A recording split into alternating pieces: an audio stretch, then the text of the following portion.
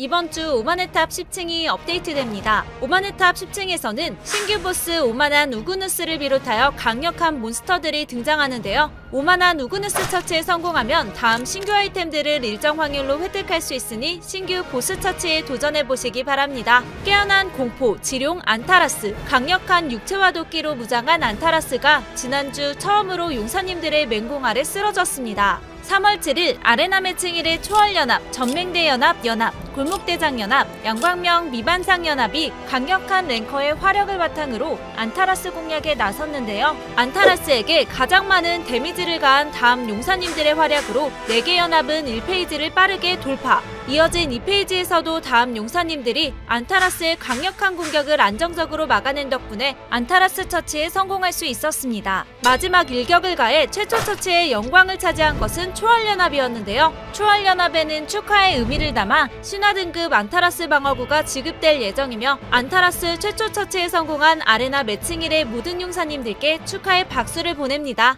지난 일요일 3월 기란성 공성전이 진행되었는데요. 이번 기란성 공성전에 승리하여 세금을 차지한 연합은 다음과 같았습니다. 매칭 4에서는 소고대비구 연합과 초파 수가원 연합이 만나 전투를 펼쳤는데요. 막강한 전력을 집중한 소고대비구 연합이 빠르게 적을 밀어내며 매칭 4의 기란성을 차지하였습니다. 한편 매칭 9에서도 치열한 전투가 진행되었는데요. 지난달 기란성을 차지했던 퓨전 파머, 퓨전 클럽 연합을 상대로 G팀 돌풍연합이 분전했지만 성을 차지하는 데에는 실패했습니다. 비록 최종 성주가 된 것은 퓨전 클럽 연합이었지만 G팀 돌풍연합이 수호탐을 부수고 연류관을 획득해냈던 만큼 다음 공성전에서는 다른 결과를 보여줄 수 있을지 지켜봐야겠습니다. 한편 이번 3월 기란성 공성전에서 가장 높은 처치수를 기록한 용사님들은 다음과 같은데요. 이외에도 전장에서 활약한 모든 용사님들께 박수를 보냅니다.